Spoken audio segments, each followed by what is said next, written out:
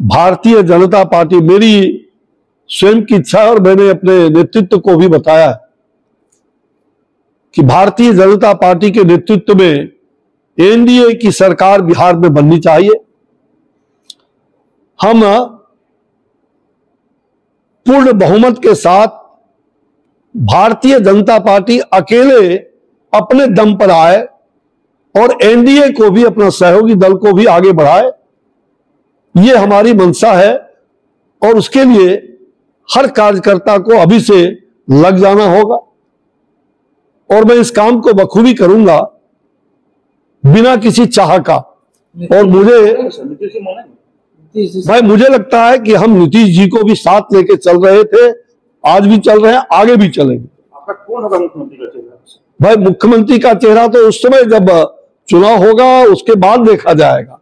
अभी वो पार्टी तय करेगी केंद्र का नेतृत्व तय करेंगे। पहले या बाद में क्या होगा वो केंद्र नेतृत्व तय करेगा। लेकिन पार्टी के संगठन को पार्टी में आयातित माल जो है वो हमें कभी बर्दाश्त नहीं। है। कहीं भी नहीं हमारी अध्यक्ष अध्यक्ष की तरफ़ मेरे सभी जगह।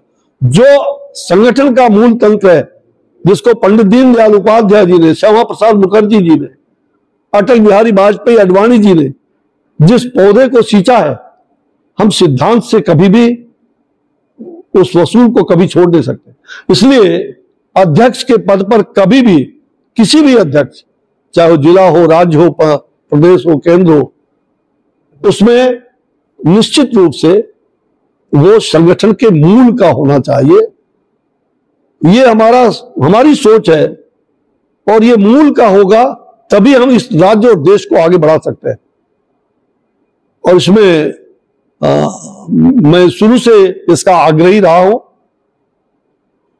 हमारा भले वो घटनाएँ घटी हैं मैं लगातार उसके संपर्क और चूँकि नीट को बनाने वालों में से मैं स्वास्थ्य मंत्रालय में रहा मैं भी उसका एक मंत्री के नाते उसमें मैंने दायित्व भी लिया था कि देश में हमारे होनहार जो नीट से जाएँगे तो उनको, लेकिन आज दुर्भाग्य है, ये जिस, जिन लोगों ने किया है, भारत सरकार ने उस पर सीबीआई की इंक्वायरी बैठा दी है, और उसमें पूरी तरह से ऐसे लोग जो आज मैंने देख, मैं देख रहा हूँ कि कुछ लोग विपक्ष के जो हमारे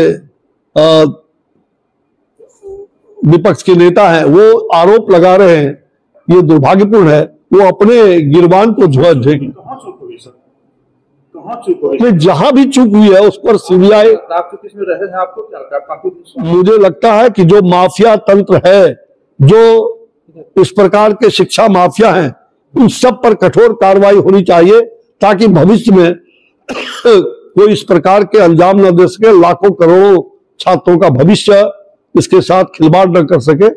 और इसलिए ये तो दूध का दूध पानी का पानी होगा। अब कौन किसका पीए है कौन किसका आ, फ़ोटो है मैं उस विवाद पर नहीं जाऊँगा।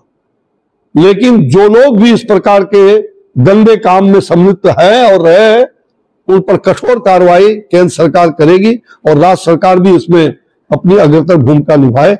इसमें दो मत नहीं।